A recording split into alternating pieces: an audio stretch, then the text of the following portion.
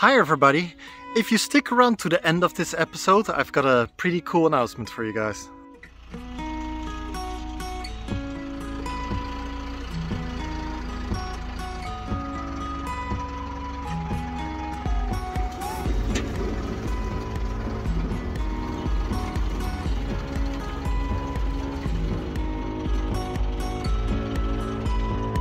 Hello everybody! So as you just saw, I got my first delivery of firewood for the coming winter. I'm sorry I didn't film it that well. Uh, he was here earlier than expected, so I just had to set up the camera as fast as I could. But uh, this is 10 cubes of firewood. I don't think it's going to be enough for the coming winter, but uh, it's a start. This is around 750 euros of firewood. Yeah, it's still wet. These trees have just been cut and uh, processed, so can't burn this yet. Uh, by the time winter comes around, it should have dried up enough for it to use. I uh, need another uh, 10 cubes of firewood, I think, for the coming winter because this winter I won't be able to stay at Frida's place to save on cost uh, because Frida's coming to live here. So this time we actually need to warm the house with just firewood. And uh, that's why I need this much. I have asked him to give me another load of 10 cubes. I just need to, you know, go to work and work some extra hours to afford it. so yeah, anyway. I'm happy with the first load at least. That's gonna give keep me warm for a good part of the winter. Now I just need to stack it neatly. That's gonna be a quite a lot of work to make it all stacked like that. I'll, and I don't even have a new storage to stack it in. So much work! Now I can of course let this firewood lay on the floor like this. Uh, which according to the guy that delivered it to me, it should be fine. Uh, lots of people just let it dry like this over the summer and then start using it in the winter. But I don't want to do that because the pieces of wood that are actually on the grass might start rotting and won't dry properly.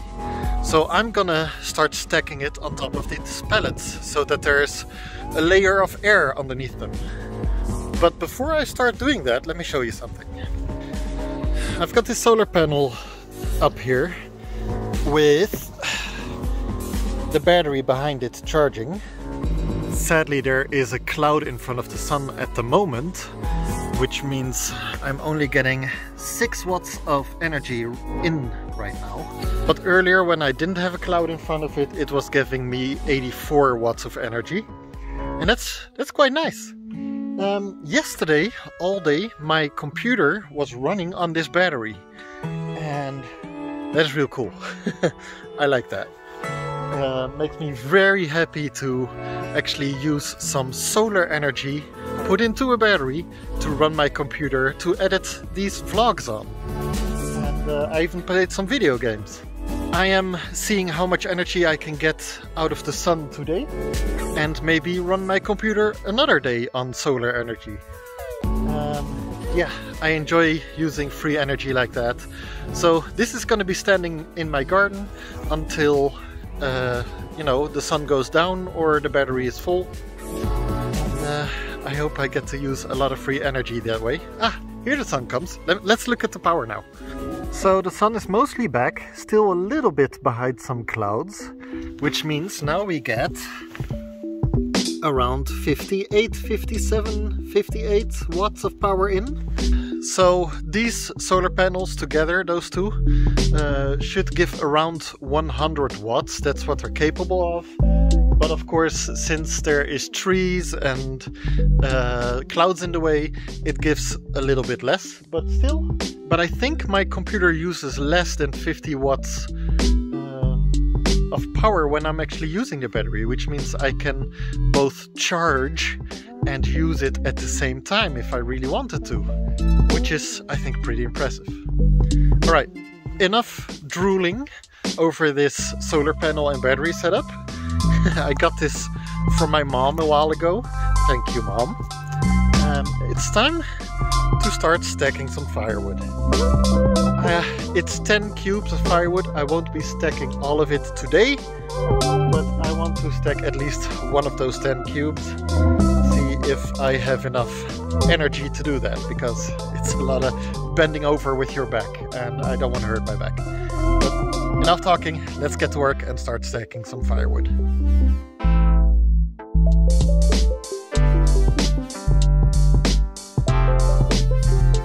There we go, got one pellet filled. As you can see, I've been listening to music while doing it. I just don't see a difference. oh yeah, you can't see a difference in what I've did in the pile, but one of the pallets is filled. This is gonna be so much work! anyway, better get used to it because this is something that I'm gonna have to do every year. I think that's enough for one day. Tomorrow I might fill the other one. Okay, like I promised, time for a cool announcement in this video. So, by the time you're watching this, me and Lihow are now in Litouwen, if everything goes to plan. We left on the 10th of May and uh, we took the boat over and we are spending some time in Litouwen for Frida's work. And of course, of course I'm gonna be vlogging all of this. I don't know what date yet, but you're gonna see a awesome trip to Litouwen with me and Frida. But in the meantime, of course, the normal vlogs will resume. I've worked hard to make vlogs up front, so there won't be a break in the vlogs like it was during the summer. So stick around, subscribe if you don't want to miss that, and see you all then. Bye! Please like and subscribe. And if you want to support us or just want something that Lihow has made, you can buy this little notebook, Look for Stars. The links are in the description, all on Amazon, and you can buy them. See, you can make some beautiful notes in there. The video that just popped up, that one is, according to YouTube, something you will like. So try looking at that one. See you later. Bye.